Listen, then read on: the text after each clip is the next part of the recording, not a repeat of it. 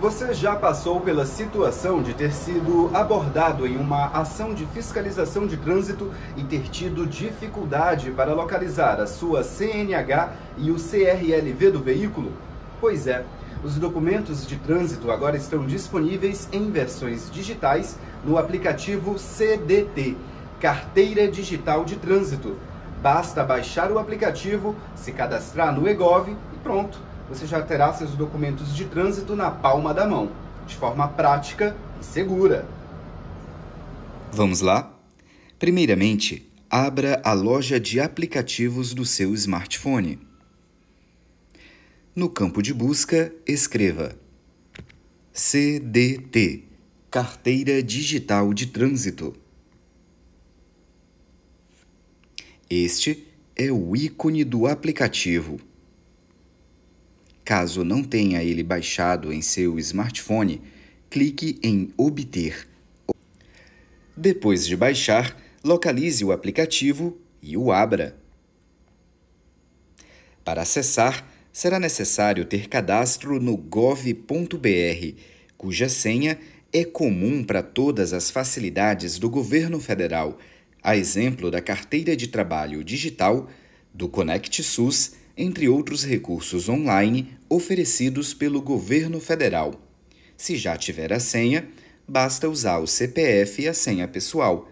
Caso contrário, clique aqui, onde haverá a opção para se cadastrar.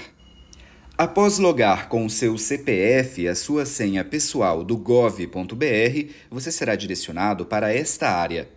No menu Condutor, é possível baixar a versão digital da sua CNH e também ter acesso a informações do seu prontuário de habilitação. No menu Veículos, é possível baixar a versão digital do CRLV, o documento de licenciamento anual do seu veículo, ou mesmo compartilhá-lo com outra pessoa que também tenha baixado CDT em seu smartphone e ainda receber o CRLV digital compartilhado com você. No menu Infrações, você poderá ter acesso a infrações cometidas vinculadas ao seu CPF ou então a qualquer veículo de sua propriedade. E ainda pedir o desconto de 40% em qualquer multa se houver, desde que ela não tenha vencido. Por fim, o menu Educação com informações relevantes de prevenção de sinistros de trânsito e demais informações importantes para você, condutor. Se em algum momento for solicitado o número do Código de Segurança do Certificado de Registro de Veículo, mais conhecido como DUT, Documento Único de Transferência, o código de segurança poderá ser localizado na parte superior à esquerda. Quanto à CNH, o número do código de segurança pode ser localizado na parte inferior à direita. Entre essas duas sequências numéricas, a correta é a de cima. Pessoas jurídicas também podem ter acesso a essas facilidades. No entanto, recomendamos que o administrador ou responsável utilize um computador de mesa ou então um notebook. As facilidades estarão disponíveis através de dois canais seja através do site do Detran, onde estão registrados os veículos de sua propriedade, ou então através do portal de serviços da Senatran, Secretaria Nacional de Trânsito.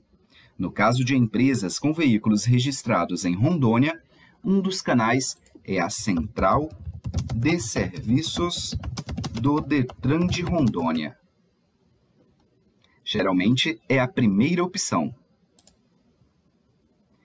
Neste site, basta baixar um pouquinho e utilizar os serviços e consultas públicas. No caso de veículos, logo aqui embaixo, basta clicar.